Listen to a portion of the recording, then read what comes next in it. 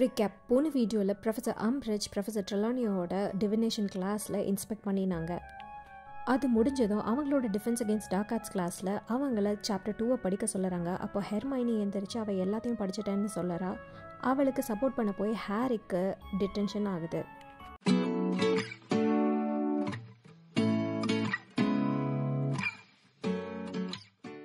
Chapter fifteen part three போன அம்ரஜோட டிடென்ஷனால் காயமாக இருந்த ஹாரியோட கை இன்னும் சரியாகவே இல்லை. அதுக்குள்ள அது திரும்பவும் ப்ளீடாக ஆரம்பிக்குது.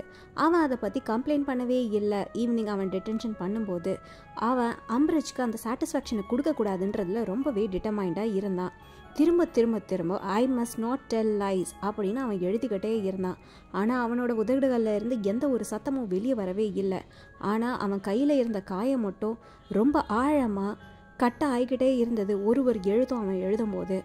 அதை விட ரொம்ப மோசமான விஷயம் என்னன்னா ஜார்ஜ் சொன்ன மாதிரியே ஏஞ்சலனோட ரியாக்ஷன் தான். செவ்வாய்க்கிழமை அவன் பிரேக்ஃபாஸ்ட் சாப்பிட்டுட்டு இருக்கும்போது ஏஞ்சலனா கிரிஃபிண்டர் டேபிளுக்கு வந்து அவனை பார்த்து பயங்கரமாக கத்த ஆரம்பிக்கிறா.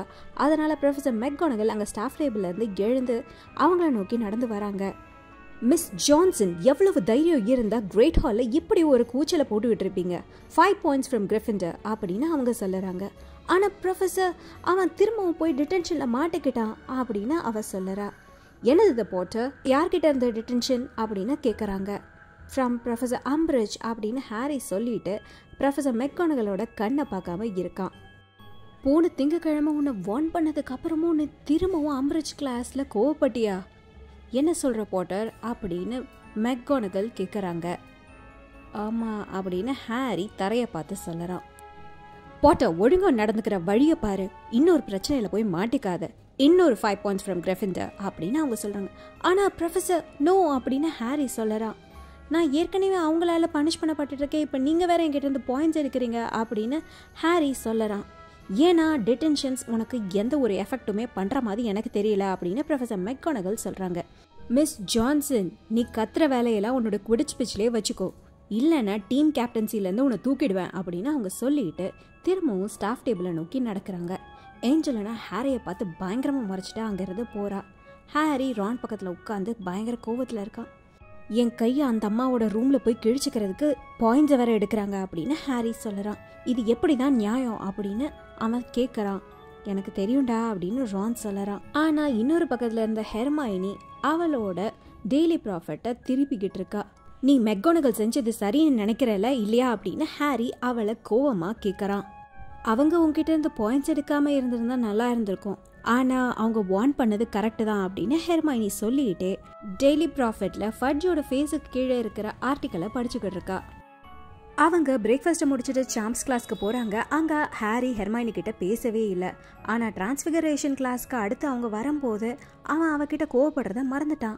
ப்ரொஃபஸர் அம்ரிஜ் அவங்களோட கிளிப்போட வச்சுக்கிட்டு அந்த கிளாஸ் ரூமில் ஒரு கார்னரில் உட்காந்துருக்காங்க அவங்கள பார்த்த உடனே காலையில் எதுக்கு சண்டை போட்டான் அப்படின்றத அவன் தலையிலேருந்து மறைஞ்சே போயிடுச்சு.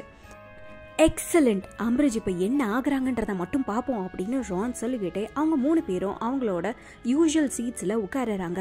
ப்ரொஃபஸர் மெக்கோனகல் அந்த கிளாஸ் ரூம்குள்ளே வராங்க. அவங்க ப்ரொஃபஸர் அம்ரிஜை பார்த்த மாதிரியே தெரியல. தட் வில் டூ அப்படின்னு அவங்க சொன்ன உடனே எல்லாரும் அமைதியாயிடுறாங்க. மிஸ்டர் ஃபினிகன் இங்கே வந்து இந்த ஹோம்ஒர்க்கை எல்லார்கிட்டையும் கொடுங்க. மிஸ் ப்ரவுன் இந்த பாக்ஸ் ஆஃப் மைஸை எடுத்து ஒரு ஒருத்தருக்கும் கொடுங்க. ஆ சிலியா பண்ணாத அது உன்னை ஹர்ட் பண்ணாத அப்படின்னு அவங்க சொல்லுறாங்க. அப்படின்னு ப்ரொஃபஸர் அம்ரிஜ் அவங்க டம்பிள்டோரை இன்டரப்ட் பண்ண அதே மாதிரியான இருமலை இருமுறாங்க ப்ரொஃபஸர் மெக்னானகல் அவங்கள இக்னோர் பண்ணாங்க. சீமஸ் ஹாரியோட எஸ்ஏவா அவங்ககிட்ட திரும்ப கொடுத்தான். ஹாரி அதில் பார்க்குறான் அவன் எப்படியோ ஏ வாங்கிட்டான் அதில். ரைட் தென் எவ்ரி ஒன் எல்லாரும் க்ளோஸாக லிசன் பண்ணுங்க. டீன் தாமஸ் இன்னொரு தடவை அந்த மவுஸ் அப்படி பண்ணுனா பார்த்துக்க டிடென்ஷனில் போட்டுருவேன். மோஸ்ட் ஆஃப் யூ உங்களோட ஸ்னெயில்ஸ் எல்லாத்தையும் வேனிஷ் பண்ணிட்டீங்க சிலர் கொஞ்சம் கொஞ்சம் ஷெல்ல இரு மறையாமல் இருந்தாலும் எப்படி பண்ணணும் அப்படின்றத கற்றுக்கிட்டீங்க இன்றைக்கி நாம் வந்து அப்படின்னு அவங்க சொல்லிக்கிட்டு இருக்காங்க. அப்படின்னு ப்ரொஃபஸர் ஆம்ரிஜ் திரும்பவும் பண்ணுறாங்க என்னது அப்படின்னு மெக்கோனகல் அவங்கள திரும்பி பார்த்து கேட்குறாங்க ஐ வாஸ் ஒண்டரிங் ப்ரொஃபஸர் நீங்கள் நான் என்னோடய நோட் அனுப்பிச்சது உங்களுக்கு கிடச்சிதான்னு அப்படின்னு அவங்க சொல்லிகிட்டு இருக்காங்க. ஆப்வியஸ்லி நான் அதை ரிசீவ் பண்ணேன். இல்லைனா உங்களை வந்து என்னோடய கிளாஸ் ரூமில் இருந்து வெளியே அனுப்பிச்சிருக்க மாட்டேனா? அப்படின்னு ப்ரொஃபஸர் மெக்கானகல் சொல்லிட்டு அவங்க ஸ்டூடெண்ட்ஸை பார்த்து திரும்பவும் பேச ஆரம்பிக்கிறாங்க. ஸ்டூடெண்ட்ஸ் எல்லாரும் ஒருத்தரை ஒருத்தர் சந்தோஷத்தோட பார்த்துக்கிறாங்க. நான் கொஞ்ச நேரத்துக்கு முன்னாடி சொன்ன மாதிரி நம்ம எல்லாரும் இப்போ மவுஸை வேனிஷ் பண்ணுறத பார்க்க போகிறோம் அதே வேனிஷிங் ஸ்பெல்லு தான் ஆனால் அது கொஞ்சம் டிஃபிகல்ட்டாக இருக்க போகுது அப்படின்னு சொல்லிட்டு இருக்காங்க. அப்படின்னு அம்ரிச் திரும்பவும் பண்ணுறாங்க ப்ரொஃபஸர் மெக்கானகல் திரும்பி என்னோட யூஷுவல் டீச்சிங் மெத்தட்ஸை நீங்கள் பார்க்கணுன்னா நீங்கள் இப்படி இன்டரப்ட் பண்ணிக்கிட்டே இருந்தால் எப்படி தான் நான் பண்ணுறது யூசி நான் பேசும்போது நான் மற்றவங்களை யாரையும் பேச விடுறது கிடையாது அப்படின்னு அவங்க சொல்லிட்டு திரும்புகிறாங்க ப்ரொஃபஸர் அம்ரஜோட முகத்தில் அரைஞ்ச மாதிரி அவங்களோட ஃபேஸ் ரியாக்ஷன் இருந்தது. அவங்க அதுக்கப்புறம் பேசலை ஆனால் அவங்களோட கிளிப்போர்டில் இருந்த பாஷ்மெண்ட்டை அட்ஜஸ்ட் பண்ணிட்டு வேகமாக எழுத ஆரம்பிக்கிறாங்க. அவங்கள பற்றி சுத்தமாக கண்டுக்காம ப்ரொஃபஸர் மெக்கோனகல் திரும்பவும் கிளாஸை அட்ரஸ் பண்ணுறாங்க. நான் சொன்ன மாதிரி வேனிஷிங் ஸ்பெல் நம்ம வேனிஷ் பண்ணுற அனிமலோட காம்ப்ளெக்சிட்டியை பொறுத்து அதுவும் டிஃபிகல்ட்டாக இருக்கும். ஸ்னெயில் வந்து இன்வெர்டிப்ரேட் அதனால் அதில் நிறைய சேலஞ்சஸ் இருக்காது. மவுஸ் வந்து ஒரு மேமல் அதில் போன்ஸ் இருக்கனால இன்னும் கொஞ்சம் சேலஞ்சஸ் இருக்கும். அதே ஸ்பெல்ல தான் திரும்ப எல்லாரும் ட்ரை பண்ணுங்க.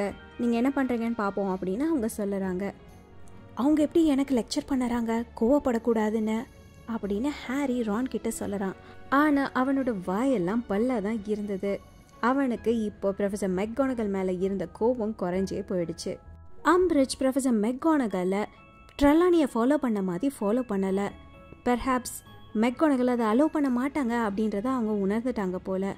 ஆனால் அவங்க அந்த கார்னர்லேயே உட்காந்து நிறைய எழுதிக்கிட்டே இருந்தாங்க. ப்ரொஃபஸர் மெக்கோனகல் எல்லாரையும் பேக் பண்ணிட்டு போங்க அப்படின்னு சொல்லும்போது அவங்களும் எந்திரிச்சு நின்னாங்க. வெல் இட்ஸ் ஸ்டார்ட் அப்படின்னு ரான் சொல்லிட்டு அவனோட மவுஸை லாவெண்டர் கொண்டு வந்த பாக்ஸில் உள்ளே போடுறான். அவங்க எல்லாரும் கிளாஸ் ரூமை விட்டு வெளியே போகிறாங்க ப்ரொஃபஸர் அம்ரிச் டீச்சர்ஸ் டேபிளை நோக்கி நடக்கிறத பார்த்த ஹாரி ரானை நட்ச் பண்ணறான். அதனால் மூணு பேரும் மெதுவாக நடக்க ஆரம்பிக்கிறாங்க. ஸோ அவங்க என்ன பேசுகிறாங்கன்னு கேட்குறதுக்காக எவ்வளோ நாள் நீங்கள் ஹாக்வர்ட்ஸில் டீச் பண்ணுறீங்க? அப்படின்னு கேட்டாங்க. Thirty nine years this December அப்படின்னு ப்ரொஃபஸர் மெக்கோனகல் சொல்லுறாங்க. ப்ரொஃபஸர் அம்ரிச் அதை எடுத்துனாங்க. வெரி வெல் இந்த இன்ஸ்பெக்ஷனோட ரிசல்ட்ஸ் டென் டேஸில் கிடைக்கும் அப்படின்னு அவங்க சொல்லுறாங்க. ரொம்ப சந்தோஷம் அப்படின்னு அவங்க சொல்லிட்டு அவங்க எந்திரிச்சு டோரை நோக்கி நடக்கிறாங்க. மூணு பேரும் சீக்கிரமா போங்க அப்படின்னு அவங்க ஹாரி ரான் ஹெர்மைனியை பார்த்து சொல்லுறாங்க. ஹாரி அவங்கள பார்த்து லைட்டாக ஸ்மைல் பண்ணறான். அவங்களும் திரும்ப சிரிச்சாங்கன்னு தான் அவன் நினைக்கிறான். அடுத்து அவன் அம்ரிஜ் அவனோட டிடென்ஷனில் தான் பார்ப்பான்னு நினச்சான். ஆனால் அவங்க ஃபார்பிடன் ஃபாரஸ்டோட எட்ஜில் கேர் ஆஃப் மேஜிக்கல் க்ரீச்சர்ஸ் கிளாஸில் கிளிப்போர்டோட ப்ரொஃபஸர் க்ளப்லி பேங்க்காக வெயிட் பண்ணிக்கிட்டு இருந்தாங்க. நீங்கள் யூஸ்வலாக இந்த கிளாஸ் எடுக்க மாட்டீங்கல்ல அப்படின்னு அவங்க ப்ரொஃபஸர் க்ரப்லி பிளாங்கை கேட்டுக்கிட்டு இருந்தாங்க.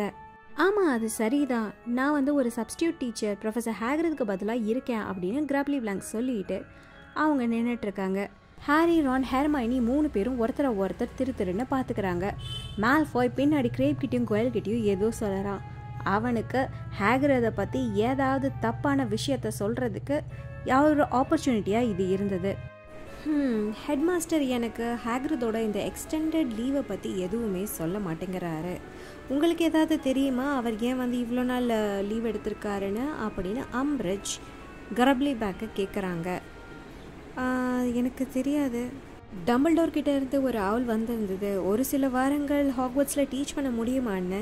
நான் அக்செப்ட் பண்ணினேன். அவ்வளோதான் எனக்கு தெரியும். சரி இப்போ கிளாஸ் ஆரம்பிக்கலாமா?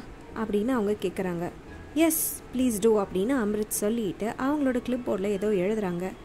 அம்ரிஜ் இந்த தடவை வேறு மாதிரி பண்ணாங்க. அவங்க ஸ்டூடெண்ட்ஸ்க்கு மத்தியில் நடந்துக்கிட்டு அவங்கள அப்பப்போ கொஷின் பண்ணாங்க. எல்லாருமே எல்லாத்தையும் ஆன்சர் பண்ண முடிஞ்சுது. ஹாரிக்கு கொஞ்சம் சந்தோஷமாக இருந்தது. ஓவரால் அப்படின்னு அம்ரிஜ் ப்ரொஃபஸர் கப்லி பிளாங்க் கிட்ட வந்துட்டு ஒரு சப்ஸ்டிடியூட் டீச்சராக ஒரு டெம்பரவரி ஸ்டாஃபாக ஒரு அவுட் சைடராக வந்து நீங்கள் ஹாக்வர்ட்ஸை எப்படி பார்க்குறீங்க? நீங்கள் மேனேஜ்மெண்ட் கிட்டே இருந்து இனஃப் சப்போர்ட் ரிசீவ் பண்ணுறீங்களா அப்படின்னு கேட்குறாங்க ஓ எஸ் டபுள் டோர் வந்து ரொம்பவே எக்ஸலண்ட் நான் இங்கே இங்கே நடக்கிற விஷயங்கள்லாம் நல்லா தான் நடக்குதுன்னு நினைக்கிறேன் அப்படின்னு அவங்க சொன்னாங்க. சப்போஸ் ஹேக்ரத் திரும்ப வரலன்னா இந்த கிளாஸுக்கு நீங்கள் என்னெல்லாம் எடுக்கலாம் அப்படின்னு நினச்சிருக்கீங்க இந்த வருஷம் அப்படின்னு அம்ரிட்ஜ் கேட்குறாங்க ஓ அவங்களுக்கு அவளில் வரக்கூடிய க்ரீச்சர்ஸ் எல்லாத்தையும் எடுக்கணும்னு நினைக்கிறேன். நிறைய ஒன்றும் இல்லை. மோஸ்ட்டாக அவங்க எல்லாமே படிச்சுட்டாங்க. ஹேக்ரத் எல்லாமே அவங்களுக்கு சொல்லி கொடுத்துருக்காங்க. நிஃப்லஸ் யூனிகார்ன்ஸ் பார்லாக்ஸ் நீசல்ஸ் அப்புறம் க்ரம்ஸ் அண்ட் நால்ஸ் அவ்வளோதான் அப்படின்னு அவங்க சொல்கிறாங்க வெல் நீங்கள் என்ன பண்ணுறீங்கன்னு உங்களுக்கு தெரிஞ்சிருக்கு அப்படின்னு ப்ரொஃபஸர் அம்ரித் சொல்லிட்டு திரும்பவும் அவங்களோட கிளிப்போர்டில் ஏதோ எழுதுறாங்க. அவங்க அடுத்த கொஷின் கோயல் கிட்ட கேட்குறாங்க இங்கே இந்த கிளாஸில் ஏதோ இன்ஜுரிஸ்லாம் நடந்திருக்குன்னு கேள்விப்பட்டேனே அப்படின்னு கேட்குறாங்க கோயல் சிரிச்சா உடனே மேல்ஃபாய் பக்கத்தில் இருந்து அது எனக்கு தான். என்ன ஒரு ஹிப்போகிரிஃப் வந்து ஸ்லாஷ் பண்ணிடுச்சு. என்னது ஹிப்போகிரிஃபா அப்படின்னு அம்ரிஜ் கேட்டுட்டு வேகமாக அவங்களோட கிளிப்போர்டை எழுதுறாங்க. ஏன்னா அவன் ஹேக்ரிட் சொன்னதை காது கொடுத்தே கேட்கல அப்படின்னு ஹாரி கோவமாக சொல்லலாம் ரானும் ஹெர்மாயினியும் முணங்குறாங்க. ப்ரொஃபஸர் அம்பிரஜ் ஹாரி பக்கம் திரும்பி இன்னொரு night detention I think well thank you very much professor கிளப்லி blank அப்படின்னு சொல்லிட்டு அவங்க கிளாஸில் இருந்து கிளம்புறாங்க. இதோட இந்த வீடியோவை முடிச்சுக்கிறேன். உங்களுக்கு இந்த வீடியோ பிடிச்சிருந்தா ப்ளீஸ் லைக் பண்ணுங்கள் ஷேர் பண்ணுங்கள் சப்ஸ்கிரைப் பண்ணுங்கள் தேங்க்யூ ஃபார் வாட்சிங்